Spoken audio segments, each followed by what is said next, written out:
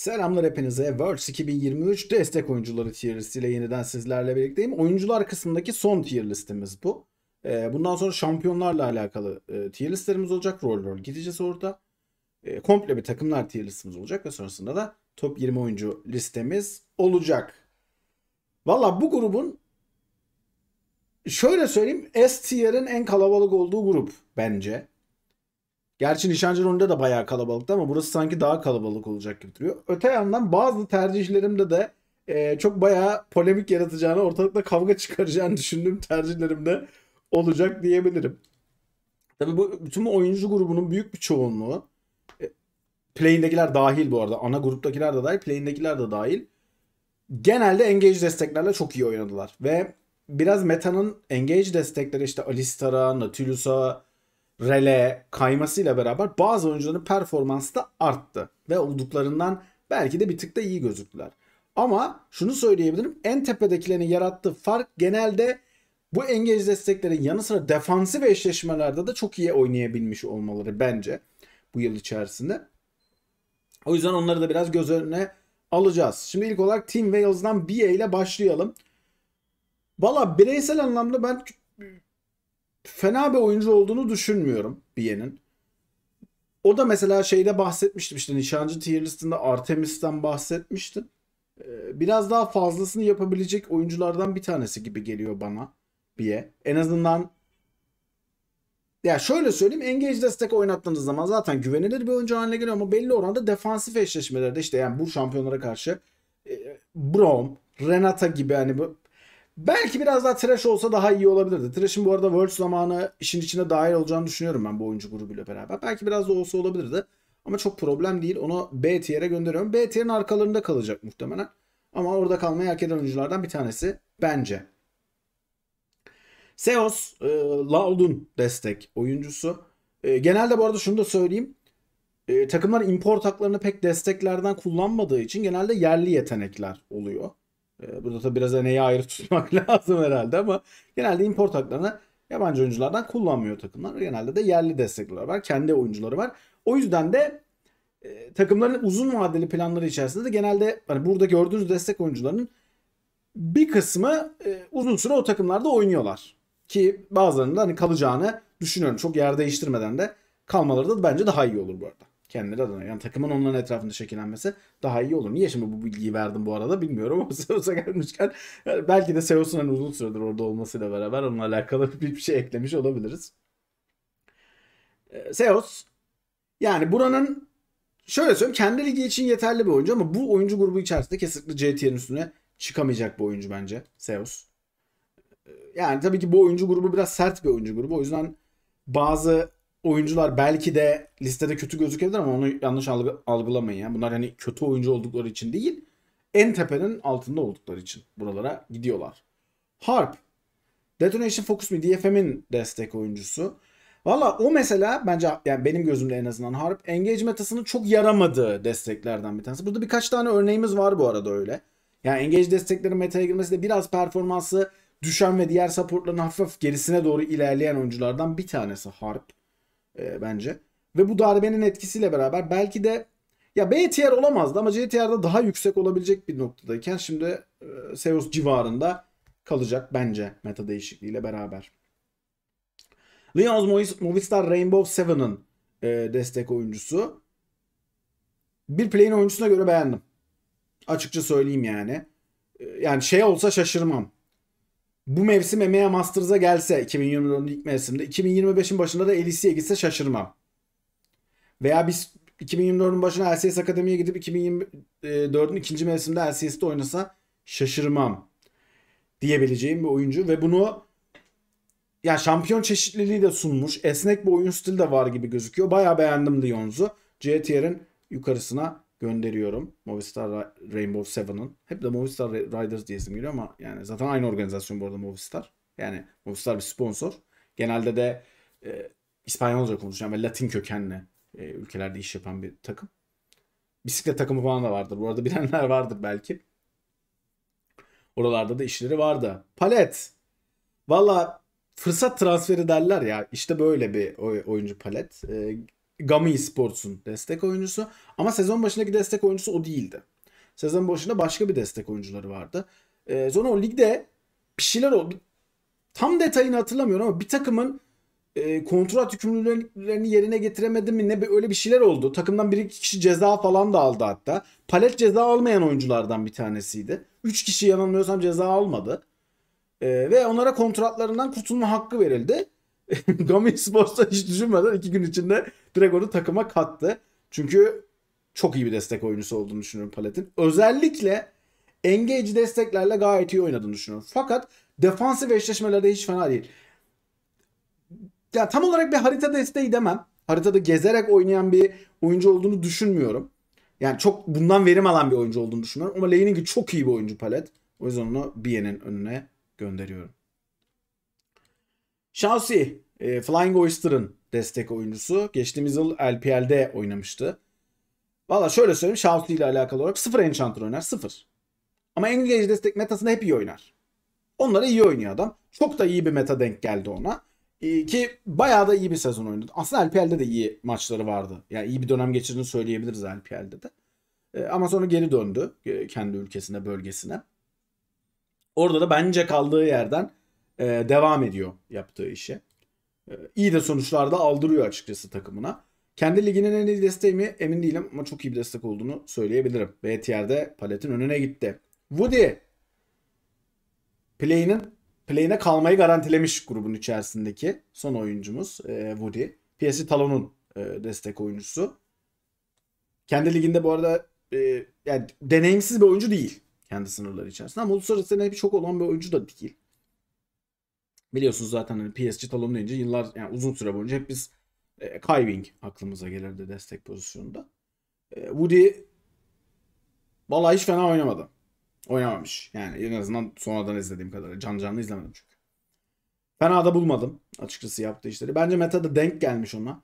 Defansif eşleşmeleri ne kadar iyi oynar bilmiyorum ama e, biraz Chelsea'nin e, bir tık üst varyantı gibi oynadığını düşünüyorum. O yüzden de hemen önüne gönderiyorum Chelsea'nin Woody'yi.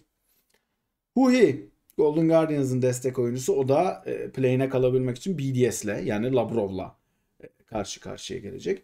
Valla Huhi'nin yıllar içindeki gelişimini e, bir, yani kısa şöyle söyleyeyim bir yarım saatlik bir belgesel yaparız. Çünkü çok kötü bir oyuncudan çok kötü bir oyuncuydu bu arada Huhi. Desteğe ilk geçtiğinde falan. Yani ne yaptığını bilmiyordu. Gitgide yıllar içerisinde gelişen, sürekli ilerleyen, iyi bir karar mekanizmasına sahip olmuş ki bence Golden Guardians'ın buraya kalabilmesinin en önemli parçalarından biriydi. Onun karar mekanizmasındaki gelişimi diyeyim.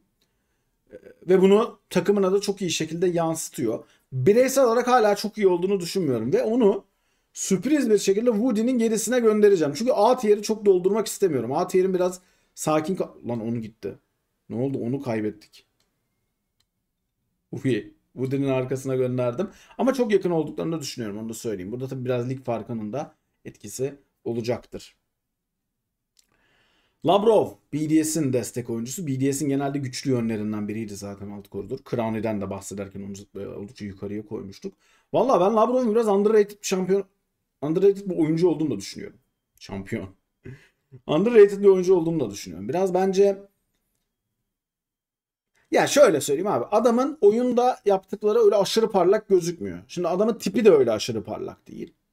Tamam mı? Yani tipi derken gerçekten fiziksel görüntüsünden bahsediyorum. Aa ne yakışıklı adam ya. O ne dikkat çekici bir tip falan filan modu da Düz adam yani yoldan geçirdiğiniz bir adamı çevirmişsiniz masaya tutmuşsunuz gibi duruyor. Ama adam bundan çok daha iyisini oynuyor. Ee, ve açıkçası o yüzden tam ya bu sebeplerden dolayı biraz underrated olduğunu düşünüyorum. Öyle sağa sola çıkıp dikkat çekici demeçler de vermiyor. İşte yok ben seni böyle parçalarım, burada sizi böyle yeneceğim, siz takım değilsiniz falan diye de konuşmuyor sağda solda. O yüzden de çok dikkat çekmiyor. Radarın altında kaldığını düşünüyorum ama gayet iyi bir oyuncu olduğunu düşünüyorum. A tier'e gönderiyorum. Core JJ. Biraz metadan darbe alan oyunculardan bir tanesi. Core JJ aşırı deneyimli bir oyuncu. Ya bütün Worlds'daki en deneyimli oyuncular, ya Faker'la beraber herhalde en deneyimli oyuncu. E, tüm Worlds'daki. E, ve bunu hep maça yansıtabilen de bir oyuncu. Çok da uzun vadeli de bir kariyeri oldu. E, ya takımının da onun etrafında oynamasına, onu şekillendirmesine, ya onun Korjic'in yaptıklarının oyunu şekillendirmesine de müsaade ediyor takımları. Ama biraz en, en, ya Enchanter'ların düşmesiyle bence biraz darbe aldı. Çünkü o ekstraları çok buluyordu Core JJ. Enchanter'larla beraber. Hani bir de diğer oyuncularda çok görmediğimiz hani Enchanter'larla beraber haritayı etki etmek gibi ekstra bir özelliği de vardı onun. Hani bunu çok tepedeki işte Meiko gibi falan adamlar yapabiliyor. Az oyuncu yapabiliyor yani bunu. Ki onlarda yok bu Worlds'te. Biraz darbe aldığını düşünüyorum o yüzden meta değişiminden. Çok fazla engage desteklere odaklandı e, meta ve Worlds'te de muhtemelen böyle devam edecek. E, ama bunlara rağmen yani çok formda da bir sezonu da geçirmedi ama bunlara rağmen biraz onu klası tuttu diyelim buralarda. E, o yüzden e, gene yukarılarda kaldı. A tier'de e, kaldı Core JJ. Cloud9'ın destek oyuncusu Zven. O da Enchanter'ların gitmesinden çok daha bağlı. Tabi Zven çok daha e, kısa süre önce rol değiştirdi ve destek pozisyonuna geçti. O yüzden adaptasyonu biraz daha uzun, yani biraz daha zamana ihtiyacı var. Hiç engage destek oynayamıyor diyemem ama genelde onun işte döndüğü dönemde yani desteğe döndüğü dönemde Enchanter'lar daha meta'daki yanındaki oyuncuyla ve Berserker'la beraber de bunu oynamak daha çok verim veriyordu onlar adına. E, o yüzden anlayabiliyorum da Enchanter oynaması, Enchanter oynamayı tercih etmesini. E, engage desteklere biraz daha mesai harcaması lazım bence. Ben o yüzden onu Labrov'un gerisine gönderiyorum. Ignar, NRG'nin destek oyuncusu. Meta değişikliğinin yaradığı oyunculardan bir tanesi. E, NA'de bu arada çok fazla ya NA'de engage desteklediğimiz zaman belki de aklımıza gelecek ilk oyuncu. Hani bir numaralı destek oyuncusu belki de Ignar. Meta değişiklikleri ona ciddi, ciddi anlamda yaradı ve özellikle playoff'ta bunu çok ekmeğini de yediler. Karar mekanizması da hiç fena değil. Direkt olarak açıkçası ya meta artısıyla Zven'in önüne koyacağım ama bence aynı seviyede oyuncular. Onu söyleyeyim size. Crisp, Weibo Gaming'in destek oyuncusu. Yıl boyunca LPL karnelerimi takip edenler bilirler. Ben bu yıl çok övdüm Crisp'i. Allah nazarlardan saklasın. İnanılmaz iyi bir sezon oynadı Crisp. Onu bir net söylemek lazım. Hem laning'de çok iyi oynadı hem teamfight'larda çok iyi oynadı. Karar mekanizması aşırı iyiydi bu yıl. Ya Weibo Gaming buradaysa Shao ve onun sayesindedir. Onu söyleyeyim. Tabii ki The son işte e, regional'larda performans arttırmasının falan da etkisi var ama sezon boyunca Weibo Gaming'i e, suyun üstünde tutan iki adamdı Shao ve Chris. Harika bir sezon geçirdi. Bu oyuncu grubunun içerisinde Keria dahil en büyük şampiyon havuzuna sahip oyuncu belki de. Chris. Ve ilginç bir şeydir bu arada bu. Çünkü biz Crisp'i daha önceden dünya şampiyonluğu yaşarken hep engage destek oynamasıyla bilirdik. Ama bu yıl içerisinde Enchanter'ları da repertuarına ekledi. Tabii ki hala engage desteklerle daha iyi. Tabii ki Enchanter'larla engage'lerle oynadığı kadar iyi oynamıyor. Çünkü biraz LP'nin oyun stili de engage destekleri daha çok isteyen ve ödüllendiren bir oyun stili. Ama harika bir sezon geçirdi. Crisp S tier'e gönderiyorum. Şöyle söyleyeyim size. Biraz daha yukarıda bitirebilseydi takımı top 1'e koyacaktım. O kadar da söyleyeyim. Bunda tabii şunun da etkisi var. Geçen yılın top 1'i olan oyuncunun e, bu yıl takımındaki problemlerden dolayı biraz performansının aşağı düşmesi artı o problemlerin kendisine daha çok sirayet etmesiyle beraber Keria'dan bahsediyoruz tabii ki. Keria'yı da hemen alayım şimdi değerlendireyim. Yani bence bir numaraydı Keria. Bu yıla başlarken de benim gözümde bir numaraydı. Kış mevsiminde hafif bir performans düşüklüğü vardı Keria'nın. Bunu kabul etmek lazım. Ama çok da endişe edilecek bir şey değil. Fakat yaz mevsiminde Faker'ın olmadığı dönemde açık ara takımın en çok dağılan ismiydi. Yani yokları oynadı. Ki tam tersine olmasını beklersiniz. Çünkü burada bir bak bu grubun içerisinde bir sürü örneği. Birazdan daha değerlendirmedik ama hani Mickey X, Hilliseng, Lehans, Trimby, Core JJ, Ignar, Crisp. Neyse Crisp'i bir daha saydım galiba. Neyse takımda bir şeyler aksadığı zaman sorumluluk alıp hamle yapan adamlar genelde onlar olur. Destekler olur. Keria tam tersini yaptı abi. İyicesinde. Takımda bir şeyler aksıyor. Keria iyicesinde. Ve onun bir performans düşüklüğünün açıkçası bu Mayushi ile biraz geri, düş geri çektiğini düşünüyorum. Yani A tier'e koymam. Hayatta koy ayıp yani. Tövbe estağfurullah çarpılırız yani. O kadar da düşmedi çünkü bireysel olarak. Ama kesinlikle top 1'den uzaklaştı. Top 3'ten de uzaklaştığını düşünüyorum bu yıl içerisinde. Bunu da söyleyeyim. Top 3'e de koymayacağım Keriya'yı. Yok ya koyacak mıyım yoksa? Bilmiyorum şu an. Neyse. Yani çünkü diğer destek oyuncuların içerisinde de bazıları işte metadan dolayı mesela işte Core JJ, Zven birazdan başka örnekleri de var. Metadan dolayı darbe alanlar ve performans düşenler oldu. Bazıları seviye atladı. Hemen onu, iki seviye atlayanı bir yan yana bir koyayım. Hatta üçü de denk gelmişler böyle olsun. Onun yerini çekiştirelim. Şu üç kişi ciddi seviye atlayan üç kişi. Delight, On ve Hank sırada değerlendireceğim üç oyuncu. Üçü de üçü de bu arada orta düzey oyunculardı. Ortanın üstündelerdi. Şöyle ya ortanın üstünde acaba daha iyi bir takıma gitse daha iyi performans gösterir mi dediğimiz oyunculardı. Veya daha iyi bir ortam olsa. Delight daha iyi bir takıma gitti. Çok daha iyi performans gösterdi. Hang daha iyi bir takıma gitti. Çok daha iyi bir performans gösterdi. On aynı takımda aldık kaldı ama takım daha iyi oynayınca onu da performans atladı. Üçü de çok ciddi gelişim göstermiş oyuncular ve bence üçü de S çıkmayı hak ettiler. Geçen yıl sorsaydınız muhtemelen A ve B arasında kalırdım. Hepsiyle alakalı. Şimdi tabii Delight bence ikisinden diğer ikisinden bir tık daha iyi iş yaptı. Çünkü Delight çok doğru oynuyor. Diğer ikisinden daha az hata yapıyor maçın içerisinde. Ve şeyi de hani az önce bahsettim ya Keria'dan beklediğimiz hani işler biraz sıkıştığında sorumluluk alma durumu vardı ya işte. Delight Brion sağ olsun. Geçen sene Brion'da oynadığı dönem sağ olsun. Orada sürekli işler kötü gitti. Sürekli bir şeyler deneyen adamdı. Burada Cenci'de oynarken işte çok iyi gitmediği maçlarda sorun çözücü gibi oynamayı becerdi.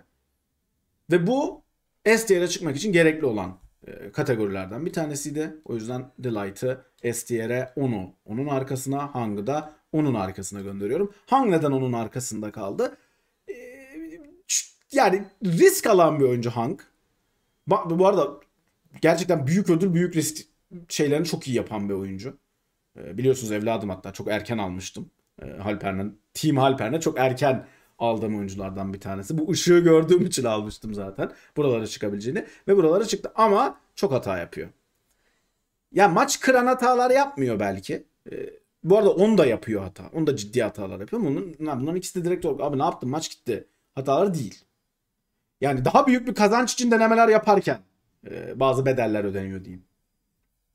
Hillesang Ha bu arada bu Delight Genji'nin destek oyuncusu, On BLG'nin destek oyuncusu, Hank LNG'nin destek oyuncusu. İkisi LPL'den birisi LCK'den. Hillesang, Matt Lyons'ın desteği. Matt Lyons'a geldikten sonra çok durulmuş gözüküyor Hillesang. O abuk bu hareketler yapan saçma sapan ölen adam çoğu zaman yok. Çok nadiren oldu gene ama olsun yani o kadarı kabul edilebilir bence. E, Hillesang yani çok sevilen bir oyuncu ve sevilen bir oyuncu olmasının sebebi Hillesang çok pozitif bir karakter. Yani onu öyle sağda solda millete işte kötü konuşurken sürekli abuk subuk trash talklarda falan görmeniz çok zor. Takımın yani genelde onunla oynayan oyuncular onun pozitifliğinden bahsederler vesaire. Ama yani takımda işler git, kötü gittiği zaman da sorumluluk alan bir şeyler deneyen de bir oyuncu. Bazen tabii bunu bedelini e, ağır ödüyor. Ama ya birinin denemesi lazım abi onu.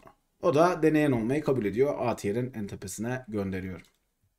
Helen Metadan darbe alan oyuncularımızdan bir tanesi hem de önemli darbe alan oyunculardan bir tanesi. Harika bir Enchanter oyuncusu Kellen ama Engage desteklerle o kadar iyi oynamıyor ki e, bir dönem formasında hatta alt takımların oyuncusu Bible'a kaptırdı. D Plus'ın destek oyuncusu. E, biraz da zorlandı Engage'lere adapte olmakta. Sonunda adapte oldu bu arada ve sonradan gene yani iyi Bible'dan çok daha iyi performans göstermeye başladı. Ama henüz STR'e çıkacak kadar iyi oynamıyor o kısmı biraz meta değişikliklerinden dolayı aşağı düştü. Bence Kellen STR'e çıkmaya çok yakın bir oyuncuydu. Ve bence bireysel olarak Hillsang'dan daha iyiydi. Ama metanın darbesi biraz onun canını yaktı diye düşünüyorum. Ve onu ne yazık ki ne üzülerek Hillsang'in arkasına gönderiyorum. Lehans, Katie Roster'ın destek oyuncusu. Biz tabi yıl içerisinde e, çok mimi oldu bizde. Lehans Turizm diye. E, onu ya bu yıl içerisindeki çok uzun rotalardan giden flankleriyle tanıyabilirsiniz. Hatırlayabilirsiniz. Bazıları çok iyi sonuç aldı bu arada. Bu flanklerin bazılarından çok verimli sonuçlar da aldı. Yani bazıları gerçekten e, bizleri de çok eğlendirdi. Ama şunu unutmamak lazım. Lehans kariyerinin büyük bir dönemini çok iyi bir Enchanter oyuncusu ama o kadar da iyi olmayan bir Engage oyuncusu olarak geçirdi. Fakat bu yıl neredeyse tamamında Engage oynadı. Yani Kellen'in gösteremediği adaptasyonu Lehans gösterdi ve çok iyi gösterdi. Hatta onun engage'e geçmesiyle beraber Katie Roster adına maçlarda daha iyi oynanmaya başladı. E, açıkçası bu level atlamayı da tebrik etmek lazım. Bireysel anlamda. Yani çok arada kaldım. tamamen en son raddede bir tık daha iyi oynamasından dolayı Delight'ı öne koydum ama çok arada kaldım ikisinin arasında. Mickey X. Evet şimdi en büyük en çok ortalığı karıştıracak oyuncumuz belki de. Şimdi ben bir yerine bir koyayım G2'nun desteği Mickey X'i. Ondan sonra bahsedeyim. Niye buraya koydum? Şimdi Batı dünyasından bir oyuncu. Bir kere zaten Batı dünyasından buraya girecekse bu, bu adam girecek. Şimdi bunu bir geçelim abi. Mickey X yıllardır, lan yeni de değil, yıllardır tüm elisinin en istikrarlı oyuncusu olabilir. En istikrarlarından bir tanesi. Bence bir numarası. İstikrar konusunda. İnanılmaz esnek bir oyun stili var Mickey X'in. Yani size Engage'de oynar, Enchanter'da oynar, defansif eşleşmede oynar, koridoru yenmeye de oynar, kule altında defansif oynamaya da oynar. Ya her şeyi yapabilen bir oyuncu. İstediğiniz her şeyi yapıyor sizden. Ve bunu hiç işini aksatmadan yapıyor. Şöyle söyleyeyim size. Ya hep şeye odaklanıyoruz değil mi? Şimdi orta koridorun işte patlayıcılığı, ekstra üreticiliği, jungle'ın erken öndeki yaratıcılığı falan filan ama. Abi takımınızda Mickey eksi olduğu zaman o kadar güvenli haritanın diğer taraflarını oynayabiliyorsunuz ki. Şu grubun içerisinde bakın burada bir sürü istikrarlı oyuncular var değil mi? Core JJ falan. Bütün bu grubun içerisindeki en istikrarlı oyuncu. Destek oyuncusu. Ve bu istikrarını sürdürürken aynı zamanda playmaker'lığını da koruyor. Takımda işler süper gitmezken sorumluluk alıp hamle de yapıyor. O yüzden ya şöyle söyleyeyim. Yani ana düşüncem Kerry'an'ın da önüne koymaktı. Mickey eksi. Ama biraz orada işte oynadığı lig ve takımı işin içine devreye girdi. Yani Kerry'an'ın oynadığı rakiplerin çok daha... Şimdi Mickey X'in oynadığı rakiplerin hepsi neredeyse at yerde görüyorsunuz. Kerry'an'ın oynadığı rakiplerin hepsi est yerde. Biraz bununla da alakası var. O yüzden Kerry'an'ın arkasına koydum. Ama çok iyi bir destek olduğunu düşünüyorum. Ve şimdiden spoilerını da vereyim. Top 20 listesinde de ilk 20 oyuncunun bir tanesi Mickey X. Kaçın sırada olacağını bilmiyorum henüz. Ama 20 top 20 ile alakalı bir spoiler vermiş olduk. Batı dünyasının benim gözümün en iyi oyuncusu. Mickey X. Missing. JDG'nin destek oyuncusu. Abi bir numaraya koymak istemiyorum ben Missing'i ya. Ya neden koymak istemiyorum? Aslında Missing kötü bir sezon oynamadı. Ama biraz kolaya kaçtı gibi geliyor bana Missing. Geçen yıl daha iyi oynamıştı bu arada. Onu söyleyeyim size. Geçen yıl şu anki Missing'den daha iyi bir Missing vardı. Ama burada tabii bir artısı var Missing'in. Keria da şu anki Keria'dan çok çok daha iyiydi. E, o yüzden sıralamada biraz daha yukarılara fırlama fırsatı bulmuştu. E, ama Missing ya bunda tabii takımın her şeyinin çok güçlü olmasının, her şeyin zaten Missing'e iş düşmeden de yapılıyor olmasının falan etkisi var. Missing bak kesinlikle kötü bir sezon oynamadı. Çok da iyi bir sezon oynadı. Ama geçen sene daha iyiydi. Hani şey gibi düşünebilirsiniz. Bu işte futbol FIFA oyunlarında, NBA 2K oyunlarında falan şey vardır ya. Abi geçen sene 95'ti Missing'in ratingi. Bu sene 94. Ya gene çok yüksek. Gene en tepede. Ama geçen seneden bir tık da o yüzden 1'e koymak istemiyorum. Ama ne yazık ki 1'e de koyacak başka kimsem yok. Yapayalnız kaldım bir numarada. Çok isterdim Crisp'i 1'e koyabilmek ama 1 ve 4 arasında da bir fark olması lazım. Yani, yani ligin birincisi ve 4'üncüsü arasında fark olması gerektiğini düşünüyorum. O yüzden Missing birinci sırada. Son destek oyuncumuz Trimby. Elisi de Fanatik'in destek oyuncusu. E, Elisi de bence Elisi tarihin en büyük dolandırıcılığıdır bu arada.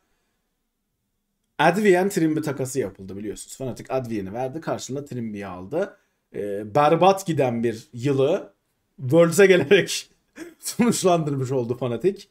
Ve en önemli sebebi bu adam. Her yerde aksaklık vardı Fanatik'te. Her yerde. Ve bunu şimdi maç dışındaki kısımlarını çok değerlendirmiyorum. Ne kadar iyi bir shot caller olduğunu, e, takımı nasıl yönlendirdiğini falan işin içine katmayacağım. Çünkü diğer rollerde de katmadım.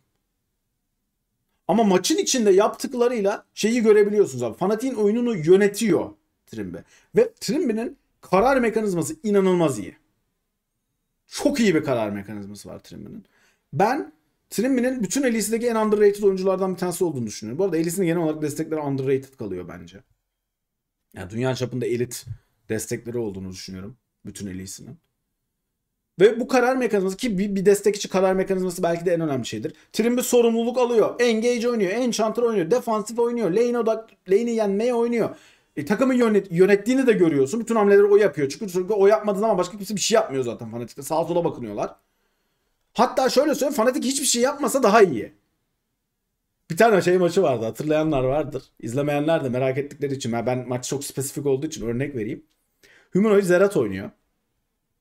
Çok yeni zaten hani Zerat oynanmaya başlamış. Abi sadece Trimby'nin kontrolüne bıraksalar maçı. Ya Humanoid dürtüyor. Trimby doğru yerde engage yapınca kazanacaklar. Kazanıyorlar zaten fightları. Abi bir yerde Noah, birine saldırıyor. Bir yerde Oscar'inin ayrı yakalanıyor. Bir yerde Razork engage falan kovalıyor. Kaybettiler maçı. Yani kazanmışlardı bile maçı öyle söyleyeyim. Çaresizlik içinde yeniliyordu çünkü. SK'di galiba rakipleri de. Yanılmıyorsam SK'di rakipleri de. Sadece Trimby'ye bıraksalar kontrolü kazanacaklar maçı. kontrolü bırakmayıp Humanoid'i dürtme zamanını müsaade etmeyip kaybetmişlerdi. Çok güzel bir örnektir o. Maçın içinde de o ağırlığı hissedebiliyorsunuz. Maçı yönetti de çok belli. O yüzden Trimby'ye de STR'e göndereceğim. Buna da LPL taraftarları kızacak ama böyle göndereceğim. Trimby'yi. Diyelim. Evet STR'ımız bayağı 8 kişi var abi STR'de. Vay be. En tepe iki yerde 9 kişinin olduğu. Seviyorum demek ki destek oyuncularını ya. Biraz belki haklarını yendiğini de düşündüğümden de olabilir. Ama e, destek tier listimizin sonuna geldik. 2023 Worlds 2023 destek oyuncuları tier listimizin sonuna geldik. E, Mickey X'in pozisyonundan Kerry'an'ın niye bu kadar az düştüğünden falan biraz kavga çıksın istiyorum. Herkes birbirine girsin. Haftaya şampiyon tier listeleri, rollere göre şampiyon tier listeleri ve top 20 videosuyla yeniden sizlerle birlikte olacağız. Gelmişken abone olmayı unutmayın. Zile basmayı da unutmayın ki bildirimler önünüze düşsün. Videolar önünüze düşsün. Haydi görüşürüz o zaman. Kendinize iyi bakın. Bay bay.